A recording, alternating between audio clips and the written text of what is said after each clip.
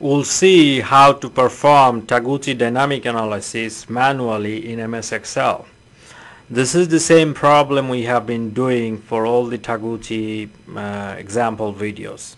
Um, so we have three internal variables, uh, thread per square inch with two levels, rubber type two levels, tire construction method two levels, and then for the dynamic part we have added a signal factor, the power produced by the cyclist or rider. And then we have two external condition and also we have two level for each of these external conditions. So we have collected this data from this tire life data. So the Y is the uh, number of miles each of these tire um, survive for uh, under these conditions. The uh, before we perform the dynamic analysis, let me run this in a Minitab so that we can verify our calculations. So I have copied this data here. Go to Stat, DOE, Taguchi, Analyze. Um, so define the factor, three internal factors, and I have a signal factor. Define that. So that's S is my signal factor, the power from the cyclist. Hit OK. And then these four responses just leave everything as it is run the basic analysis. So as you can see here in dynamic analysis it produces the signal to noise uh, ratio table and also it produces the slope factor. Now this signal to noise ratio table we have done this calculation before. Let me show you that. So this is the same analysis we have performed before. I have shown you how to manually calculate uh, this in MS Excel. So check that video where it says how to calculate signal to noise ratio in MS Excel. So as you can see 40 44 so let's go back to the video. We can see here 40 44 they're basically same number. Um, so they, they, they uses the same formula. So I'm not gonna show you that. I will show you how to calculate these slopes. Now before we calculate slopes I want to kind of go a little bit background of what is this slope. Now in Taguchi dynamic analysis the external factor it is viewed as a um, some sort of linear relationship with the response. So in this case the more power the cycle is developed the less life this tire gets. So there should be a relationship between the response and the uh, signal factor. So the power um, the response the tire life is proportional to the signal factor. So this is how dynamic analysis view in Taguchi design.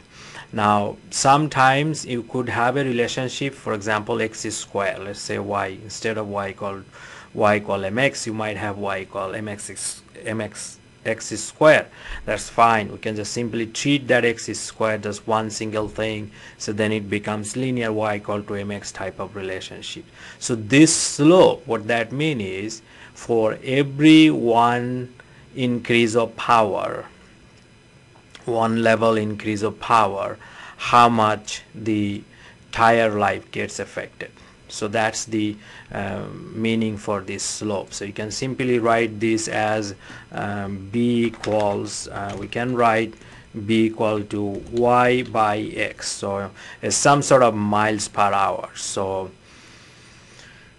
every hour how many miles do you go? So every power level you go from minus low level power to high level power how much tire life is affected. So in this case high level low level assume that a average person develop about 100 watts and then a pro cyclist develop about 300 watts. Let's say we are testing average person with a pro cyclist power 100 watt and 300 watts so if you increase from the average cyclist power level minus 1 to a pro cyclist level which is plus 1 then how much mile we get more or less. So that is this definition or interpretation of this slope. Now as you know from the regression equation this is the equation to calculate this slope Now if you set up the experiment as Taguchi layer definition like 1, 2, 3 instead of plus minus then you will have to use this whole equation. However I like to prefer setting the equation as the factorial arrangement that way summation of x is basically 0. So x in this case is the signal factor. So if you sum of these you will see all of them 0 because they are orthogonal and each of those appear same number of times in one column. So 0 so summation of x does not exist. So that part 0 that part 0 so it becomes summation of xy divided by x squared. So this is all we have to do. You have to find out summation of xy and x squared to calculate the slope. So I have set up this already. xy xy xy xy. Summation of xy x squared. So let's calculate that. So equal to x times um, y. Now I'm going to be copying this all the way so I'm going to freeze that. Let me write this x as kind of x just for the understanding purpose the same thing.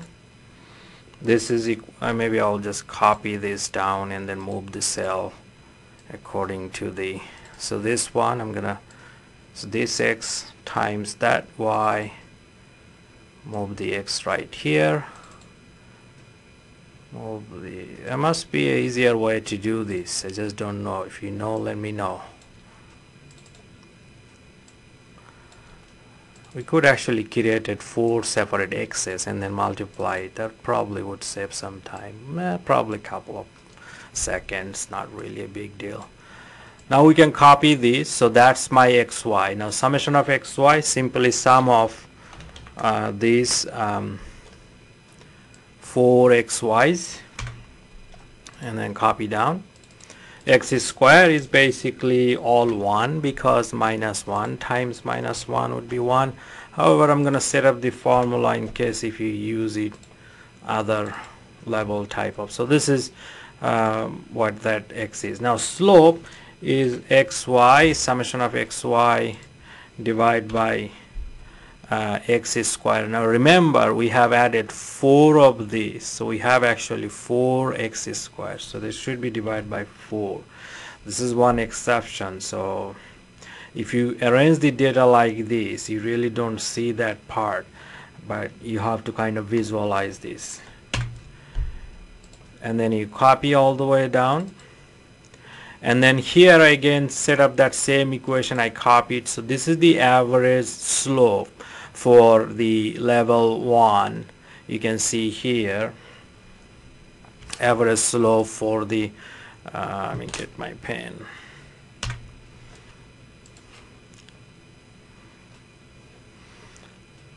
So uh, if I get pen then I won't be able to do that. So let's take out this pen